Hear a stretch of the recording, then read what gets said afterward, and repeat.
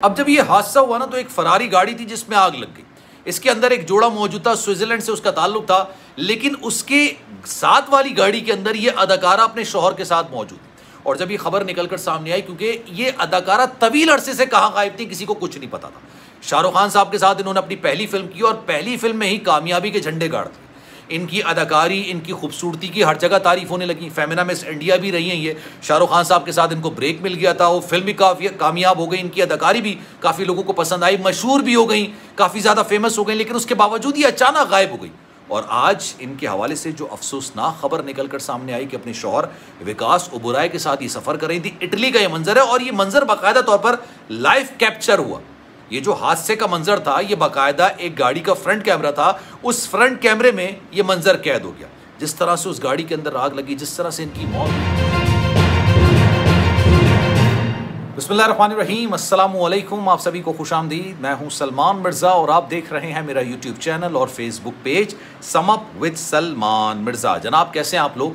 मैं उम्मीद करता हूँ आप जहाँ हों, खैर वाफियत से हों, सेहतमंद हों, तंदुरुस्त हों और ये वीडियो देखने के लिए आप सभी ने वक्त निकाला है वीडियो के आगाज़ में। तहे दिल से आप सभी का मैं शुक्रिया अदा करता हूँ।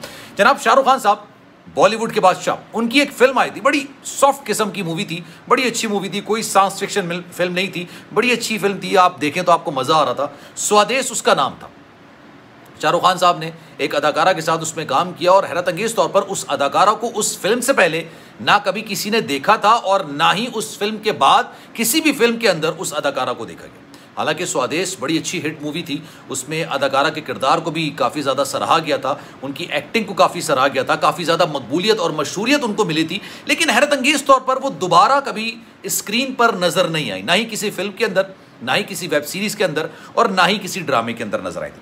उस खूबरू अदाकारा का नाम गायत्री जोशी था और शाहरुख खान साहब के साथ उन्होंने काम किया था। आज उनके हवाले से बड़ी हैरत अंगेज़ और खौफनाक खबर निकल कर सामने आज के दिन एक वीडियो आती है और वीडियो है इटली की। ये एक हादसे की वीडियो होती है और होता ये कि गाड़ी के कैमरे के अंदर ये जो वीडियो है ना, ये मंजर कैद हो जाता है। उसके सामने ना कुछ गाड़ियाँ चल रही होती मैं आपको पूरी कहानी बताता हूँ क्योंकि गायत्री जोशी के इंतकाल की जो खबर निकल कर सामने आई, वो भी हादसे में, जिसमें उनके दो बच्चे भी शामिल थे, उनका एक शोहर भी शामिल था। ये वही अदाकारा है, स्वादेश की, शाहरुख खान साहब के साथ जिन्होंने काम किया था। इसने सबको हिला के रख दिया, लेकिन हकीकत क्या है, आज मैं आपको पूरी डिटेल में बताता हूँ। एक वीडियो आई, ये वीडियो मैं इंस्टाग्राम पर लगा भी दूँगा।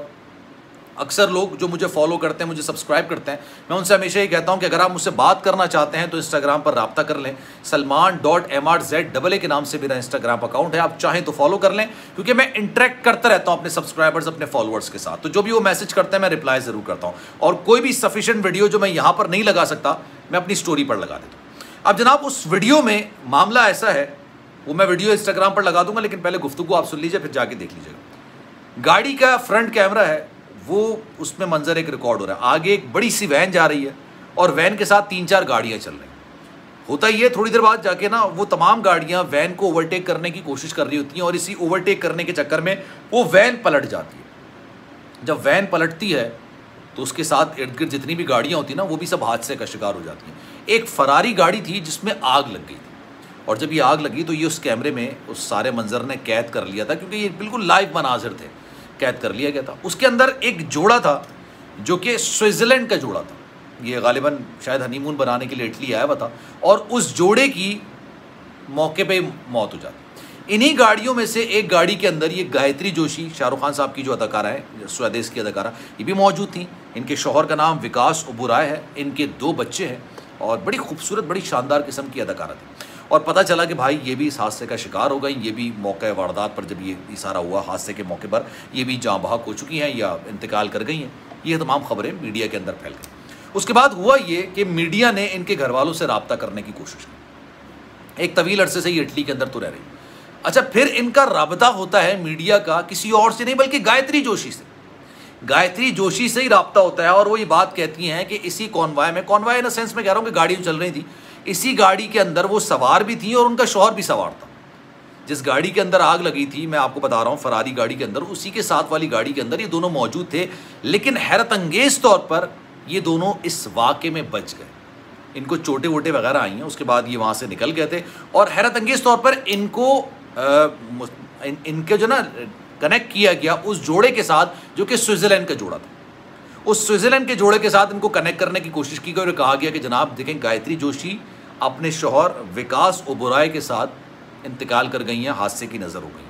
जब इनसे बात की गई तो उन्होंने इस बात की तस्दीक की कि हाँ इस हादसे का शिकार मैं ज़रूर हुई थी।